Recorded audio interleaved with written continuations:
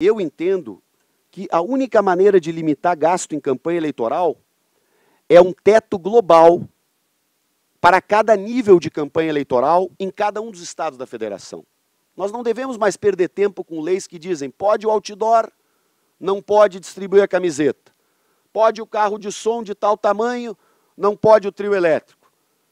Os candidatos e os marqueteiros encontrarão sempre uma forma de gastar mais e mais. Tanto que todas essas leis feitas não baixaram a curva de gastos global da campanha. Ela é maior a cada eleição. Então, só um teto que diga, um candidato a deputado federal no Rio Grande do Sul pode gastar 500 mil reais. A minha campanha custou em torno de 1 milhão e 500 mil na última eleição. Não teria problema de fazer a campanha com 500 mil. Desde que o meu adversário também tenha 500 mil. Aí alguém vem e me diz, mas a lei não vai ser respeitada. Aí o outro vai fazer o caixa 2, tu respeita a lei e o outro vai ser beneficiado. O caixa 2 acontece hoje, gente.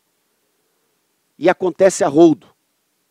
Dentro da minha linha de combate à hipocrisia, não me peçam para provar de quem, quanto, como, porque a questão não é de acusações mútuas. A questão é a seguinte: nesta lei eleitoral de hoje, com esse sistema de financiamento, com empresas livres para financiar, com pessoa física livre para financiar, sem teto de gastos, sem teto, inclusive, que cada candidato, se quiser botar 10 milhões do seu teto, pode botar.